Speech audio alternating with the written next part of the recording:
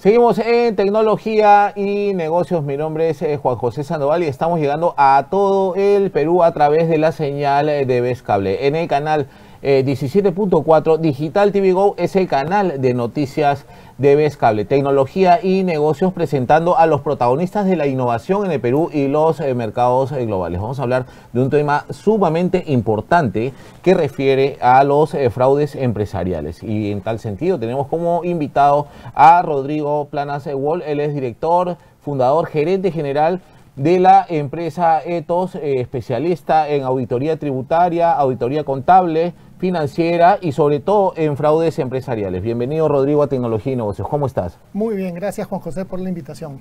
Muchas gracias a ti por participar y por eh, compartirnos este tema tan importante que tiene que ver con el empresario peruano con las empresas y sobre todo con la corrupción, ¿no? Porque eh, el tema del fraude también se detecta por actos eh, inválidos, digamos, ¿no? Correcto, el fraude lo puedes este, categorizar como corrupción, mal uso de activos y fraude en la información financiera. Un dato que es súper importante y lo hace esta institución norteamericana que se llama Association of Certified Fraud Examiners, que son la Asociación de Forenses de Estados Unidos. Ellos en su anualmente publican un informe que se llama el Reporte de las Naciones. Y solo para, este, para esta sección quiero, quiero informar de dos datos súper importantes que todo empresario tiene que tener en mente. Muchos se preguntan cuánto es lo que una empresa pierde a través del fraude. Según los informes de esta asociación especializada en ello, el importe aproximado de lo que una empresa pierde es el 5% de sus ingresos anuales. Ustedes ya pueden sacar cuenta más o menos según su empresa cuánto pueden estar, pueden estar perdiendo.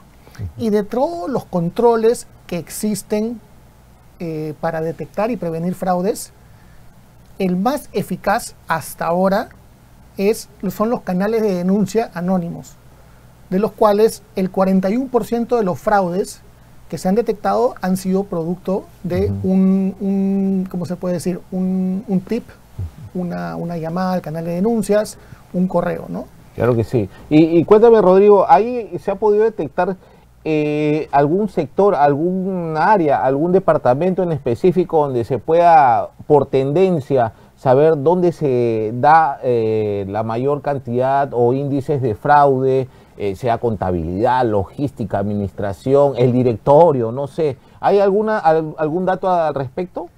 Mira, dentro de los rubros de corrupción, mal uso de activos y eh, fraude en los estados financieros, el más común es mal uso de activos, que, es usar en otros temas los activos que te da la empresa, como carros, celulares, eh, equipos de maquinaria, ¿no?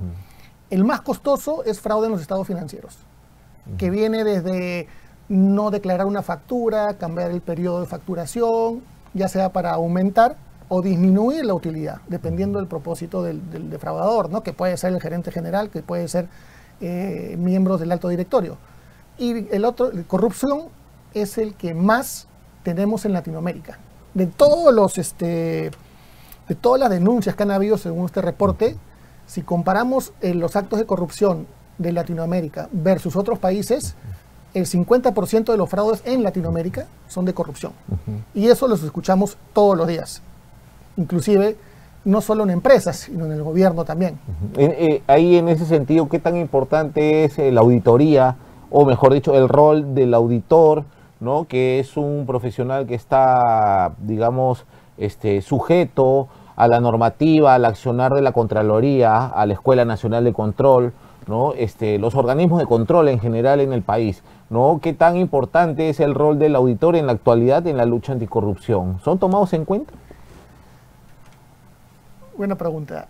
El rol, en este caso, si hablamos del gobierno, el Contralor es muy importante y, todas las, todos los órganos del gobierno cuentan con canales de denuncia. El tema es que la corrupción, si hablamos de eso, está tan enquistada dentro de, nuestro gobierno que si queremos este, que desaparezca en un gobierno es imposible, es imposible. Lo que sí podría ayudar, si cortamos de acá a futuro, es la aplicación de la inteligencia artificial para estos temas. Claro. El blockchain. Eh, hace un, un, par de semanas, bueno, mañana son las elecciones en Estados Unidos y uno de los personajes más importantes es Elon Musk. que está apoyando a los republicanos. En, una, entre, en, una, en, una, en un meeting que hicieron, le preguntaron a Elon Musk cómo podemos hacer para que las cuentas del gobierno sean visibles a todos nosotros. Y le, le dijo a Elon Musk, esta persona, no podemos usar blockchain para saber dónde se van los gastos. Eh, le pareció interesante, no sabemos qué va a pasar, pero hay herramientas peruanas, extranjeras, que nos pueden ayudar muchísimo a combatir no solo el fraude empresarial, sino muchas otras cosas. Claro que sí, o sea, tecnología blockchain, digamos, aplicada para que haya una trazabilidad De todo. de todo, ¿no? Y que pueda, se impida, por ejemplo, de que alguien malverse gasolina que le han, que le han dado para, para un cierto uso de trabajo y lo está malversando, ¿no? Para otra persona que se le eh, destina fondos para una actividad específica dentro de la empresa, un pesquero, un industrial, alguien que hace una que hace conservas, ¿no? alimentación para a nivel masivo, Cualquiera. ¿no? están sujetos o son propensos a que puedan eh, tener elementos eh, o, o personas que ejecutan corrupción dentro de la empresa y eso genera fraude. Correcto. Y un tema muy importante que, se menciona en el tema de fraude, y lo digo a todos los empresarios, es el tono en la parte de arriba de las empresas, es decir, los directores, los este, accionistas que trabajan en la empresa, la gerencia general, el ejemplo que den ellos es muy importante para que los que están debajo de la pirámide de poder sepan qué es, qué es lo correcto y no. Si tenemos un, un CEO que es un estafador, un fraudulento, sus, empleados lo van a ver y le va a parecer lo más normal cometer fraudes dentro de la empresa. ¿Y los perjudicados quién son? Si es una empresa que cotiza en bolsa es no solo las personas que han invertido en esa acción, sino también las empresas tipo las AFPs que buscan retornos y rendimientos son este, perjudicados, ¿no? Cuéntame un poco de Etos, este, cuántos años tiene, eh, la, la cartera de clientes, sin mencionar seguramente por algunos temas de confidencialidad, pero cuéntame un poco de los sectores o rubros eh, eh, productivos en los cuales eh, se desarrolla tu empresa. ¿Cómo no?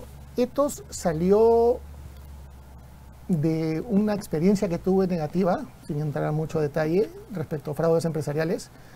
Y en el 2019 pensé en crearla y la creé.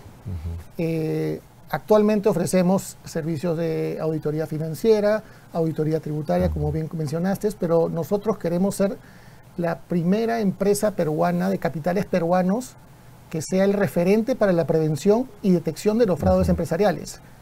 Y si me preguntas, Juan José, ¿es caro esto? Yo te digo, para nada, para nada. Los planes que tenemos comienzan en 99 dólares mensuales para adelante, no son nada complicados de manejar y es la herramienta que se puede decir que es la más eficiente y eficaz para la prevención y detección de fraudes. Claro que sí, bueno, eso es sumamente complejo, el tema de los fraudes eh, a nivel corporativo, ¿no? Y, y me parece que lo que estás proponiendo en el mercado local es sumamente valioso, atención para todos los eh, empresarios, ¿no? De, toda- de todos los rubros productivos, ¿no? Eh, uno no está eh, ajeno o lejano a poder ser eh, eh, víctima de un fraude, ¿no? En, en los mismos estados financieros también se dan fraudes, ¿no? Y en ese sentido, tú como experto, cuéntame un poco este, estos fraudes, eh, en dónde se da la mayor incidencia, ¿no? ¿Hay algún dato al respecto? Sector bancario, este, eh, digamos, logística, importaciones, exportaciones. Depende mucho de dónde, de dónde estamos hablando, porque los datos del exterior son distintos a los de Perú. En Perú, eh, las áreas más, ¿cómo se podría decir?, riesgosas son la de compras y gestión humana, todo lo que tiene que ver con efectivo. Y para entender un poco más cómo puedo evitar que se cometa el fraude, hay, un, hay una teoría que se llama la teoría del triángulo del fraude, que para que ocurra un fraude tiene que haber tres patas. Presión, oportunidad y racionalización. Las presiones pueden ser personales, como un familiar enfermo, tienes un negocio personal y necesitas plata. Inclusive, y esto es muy importante que sepan los empresarios y los líderes, son las presiones que utilizan en la empresa de llegar a metas, ya sea de facturación, de crecimiento, de lo que sea, puede hacer, y es más, hace que, que los directivos de la empresa cometan fraudes para demostrar que pueden llegar. A los accionistas también pueden, pueden cometer el error de pedir muchas metas inalcanzables. ¿Correcto? Y la oportunidad son que estos puestos estratégicos donde se puede cometer el ilícito. Y dentro de lo que nos menciona el ACFE, hay 43 esquemas de fraude que pueden suceder. Todos estos separados en los tres pilares que te comenté, ¿no? Corrupción, mal uso de activos y estado, eh, fraude en los estados financieros. Claro que sí. Bueno, Hace poco nomás ha habido un tema de vulneración de, de, eh, eh, información de un importante banco eh, en el mercado local. Quizás el más importante. Y, bueno, los clientes han estado preocupados. Después se supo que había un tema de extorsión incluso, ¿no? con la información, ¿no? donde uno también evidencia que la información se ha vuelto sumamente vital, ¿no? Para la operación de toda empresa. Es correcto lo que mencionas. Este banco, estoy seguro que, ha tenido, y es algo que quiero dejar claro, ¿no? Que te hackeen una página web, por más que tenga la mejor seguridad, puede pasar. Inclusive hay un caso de esta empresa norteamericana que se llama Target, que teniendo el antivirus que utiliza la CIA, dejaron una puerta abierta y estos hackers rusos entraron y pasó lo mismo, se robaron la información. Entonces, si bien este banco nos puede, yo, no dudo que han hecho todo lo posible para prevenirlo, pero todos los fraudes como el ransomware, hay, hay fraudes que son cibernéticos o externos, que hay una lista de más de 40. Uno de ellos es lo que sucedió, que es el ransomware. Lo más importante es tu información, la información bancaria que tiene, como, dónde vivimos, cuáles nuestros ingresos, ya sea de la empresa o persona natural, y tener esa información es bien perjudicial si estamos en un país donde los extorsionadores, si pueden extorsionar, valga la redundancia, a los transportistas, que evita que vayan a nuestra casa y nos extorsionen. Entonces, ese es un tema súper delicado y también hay muchas formas de prevenirlo, pero sí, sí, sí quiero sacar y decir claramente esto, ¿no? Todos, todos o cualquier empresa puede ser hackeada. claro. Eh, para ir cerrando esta entrevista, eh, Rodrigo, el tema de la normativa eh, con respecto a fraudes, ¿qué dice la ley? ¿Qué es lo que impone? Porque eso no hemos dicho cuáles son las penalidades para que la gente sepa los riesgos que asumen cuando van a cometer un acto de fraude, ¿no? Es un tema que, para mí personalmente, los castigos, por así decirlo, que existen a estas personas que cometen el fraude, por ejemplo, fraude en el estado financiero, son penas muy suavecitas. recién en el año 22, 2022, hubo un cambio en el, en el Código Penal aumentando el tiempo de los delitos. Por ejemplo, antes, este, por decir, eh, fraude en los estados financieros, iba una pena de, contaría paralela, más fácil, una pena de dos a cuatro años. Este, pero ahora de, me parece que es de 2 a 5 o de 2 a 6, no, estoy seguro. Pero si uno toma en cuenta los millones de dólares que puede robarse una empresa frente a una pena preventiva de libertad de 2 a 6 años, no, no desanima, no, no, no es este, como que sabes que mejor no lo hago porque puede ser más... El, riesgo es bastante bajo, ¿no? Por lo cual Este, eh, no desmotiva. No desmotiva. ¿No? Ah, bueno, hay evidencia un vacío eh, en cuanto a la ley, ¿no? Y es importante empezar a poner foco en estos temas, ¿no? De cara a, también a las nuevas propuestas de legislación que se van a dar en el futuro y es sumamente importante eh, tomar en cuenta este tipo de temas. Eh, Rodrigo, la empresa Etos, su página web, en dónde los pueden encontrar, a quiénes te diriges tú, a qué tipo de empresas quisieras que te contacten a través de esta entrevista? Mira, mis servicios van a cualquier empresa. Como digo yo, ¿no? Yo, este, nuestra empresa protege lo que tú has creado en toda tu vida. Ayudamos a proteger tu, tu empresa. Entonces, este, nos pueden ubicar en la página web etoscontrol, www.etoscontrol.com. Pueden buscarme en, el, en LinkedIn, buscan Rodrigo Planas, van a encontrar ahí, hay formas de contactarme dentro de la página y eso, eso sería. Claro que sí. Muchas gracias por, tu tiempo, Juan José.